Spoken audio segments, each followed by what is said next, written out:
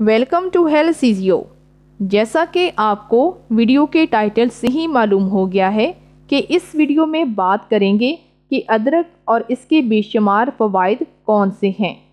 अदरक एक सब्ज़ी है और इसको मुख्तलिफ़ सब्ज़ियों, दालों और गोशत की पकवानों में डालकर इस्तेमाल किया जाता है, ताकि इसकी मदद से बेहतरीन किस्म का मसाला तैयार हो सके और इससे खाने भी लजीज बनाए जा सकें।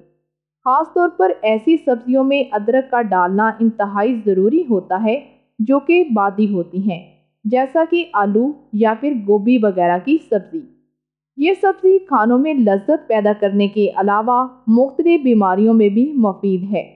अदरक का इस्तेमाल ताज़ा ही किया जाता है, लेकिन अगर इसको खुश कर लिया जाए तो ये सूंठ बन जाती है। और इसी नाम से ये मार्केट में भी फ़रोख्त हो रही है और आपको ये बसानी मार्केट से भी मिल जाती है। इसमें विटामिन सी की मकदार भी मौजूद होती है और तासीर के लिहाज से अगर बात की जाए तो अदरक गर्म और खुश्क होती है। और अब बात कर लेते हैं कि अदरक के क्या तिबी फ़वाद होते हैं। अदरक खानों को हज़म करने में मदद करती है। हर खाने के बाद एक छोटा सा टुकड़ा इसका लाजमी से खाना चाहिए।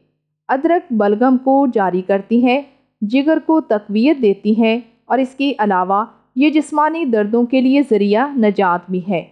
मेदे और आंतड़ियों के जुमला इमराज में अदरक का इस्तेमाल इंतहाई फ़ायदेमंद है, जिसमें ख़ास तौर पर अंतड़ियों की सोजिश वगैरह है। दमागी इमराज में अदरक इंतहाई मुफीद है और ऐसे ख़वातिनों हजरात जिनको भूख ना लगती हो तो वो अदरक का इस्तेमाल लाजमी से करें। क्योंकि अदरक भूख लगाती है। सर्दियों में अगर खांसी हो जाए तो अदरक के रस को शहद में मिलाकर लें। इससे आराम आएगा। अदरक गुर्दों और मसाने में ताकत पैदा करती है। मतली के और बदहज़मी के लिए अदरक का इस्तेमाल इंतहाई फ़ायदेमंद है। ये यरकान और बवासीर के लिए इसका इस्तेमाल इंतहाई मुफीद है।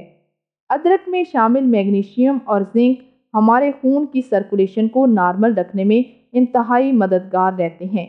इसीलिए सर दर्द में भी ये इंतहाई मददगार है।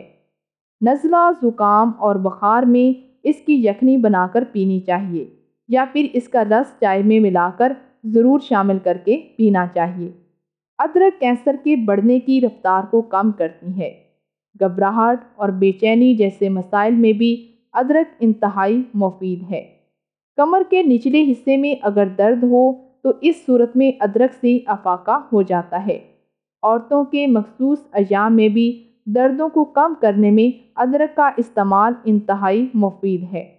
अदरक खून में शामिल शकर की सतह को कंट्रोल में रखती है और इसके बढ़ने नहीं देती। और इसके अलावा अगर बात की जाए तो अदरक का इस्तेमाल इसमें भी इंतहाई फ़ायदेमंद रहता है। इसलिए शुगर के मरीज़ों के लिए ये इंतहाई मुफीद किस्म की शय है।